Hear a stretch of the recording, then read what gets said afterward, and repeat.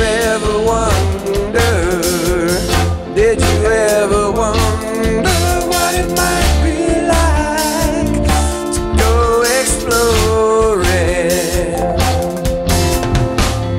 Following the water, wondering ever far.